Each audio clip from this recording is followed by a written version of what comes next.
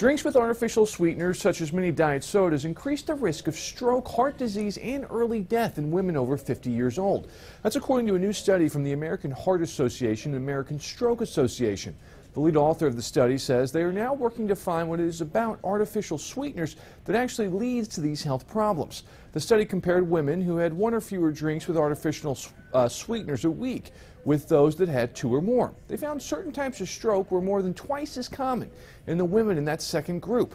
Artificial sweeteners have previously been linked to dementia, diabetes, and obesity in men and women. Matt Yurus for CBS Local News.